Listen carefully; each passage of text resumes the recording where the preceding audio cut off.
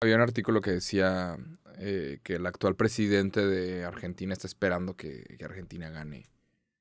Porque les urge cambiar el tema. Argentina la ha pasado muy mal. Argentina, país, la ha pasado muy mal. Eh, tiene una inflación del 80% nada más este año. ¿Te imaginas? Que todo está 80% más caro este año nada más. Ridículo. Eh, tienen ahorita niveles de pobreza enormes, fuga de cerebros, están ahorita en toda Europa. Los argentinos se escaparon.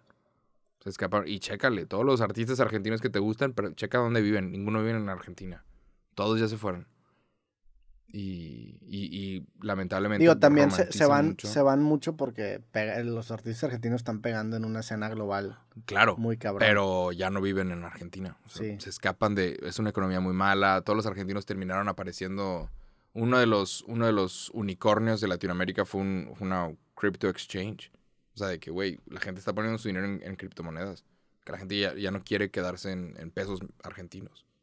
sí, con Entonces, esa a ver qué pasa. A ver, pues, sí, a ver si no terminan dolarizando, que es lo que dicen que es lo que eventualmente va a suceder, como lo hizo Ecuador. Que Ecuador le, le ha ido bastante bien con eso.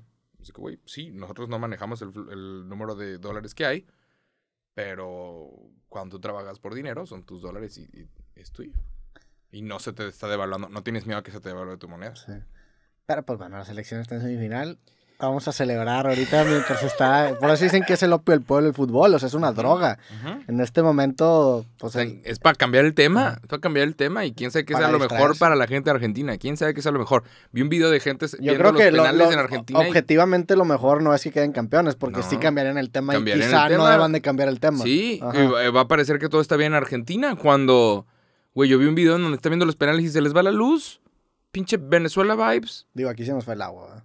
Sí, claro. Aquí no nos podemos bañar ni bajarle al baño. Pero realmente pues la, hubo un día en donde tú dijiste no me puedo bañar. No, yo aquí estoy hablando del 80% de la población. Obviamente, Yo iba al gimnasio y siempre hubo agua. pues sí, porque tienes, ¿cómo se llaman los rotoplas? Los Los, tanques, los, tinacos, ¿verdad?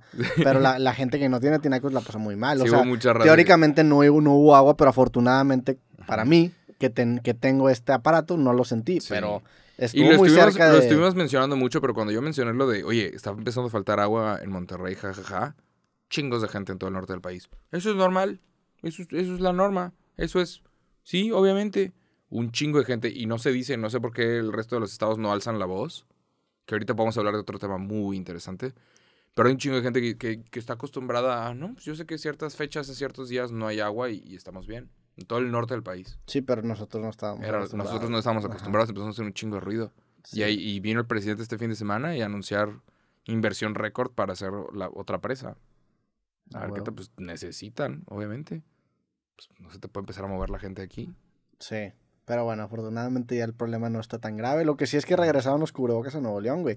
Que de hecho el Acabo capítulo pasado censuramos una historia. Censuramos la historia de mi visa. Que te había contado que... ¿La censuraste? Sí, claro. ¿Por? Porque la quiero contar ya que tenga mi visa. Ah, mejor. La neta. O sea, sí, sí hubo una discusión de decir, oye, ¿sabes qué? Ay, Mejor, no me di cuenta. mejor quiero tener mi documentito para contar esa historia. pero eso va a ser noticia, ¿eh? Va, va a ser cuando pero bueno al parte de la historia era que me habían obligado a ponerme cubrebocas que después la, la, la contaré ahora ya es obligatorio Sí, hoy salió esa noticia, ¿no? sí Qué asco. qué mamada Ya no quiero cubrebocas, ya no, ya no quiero. yo creí que ya, ya, ya había quedado Yo atrás creí que ya hemos salido de esta madre. O sea, hay más gente que se está enfermando.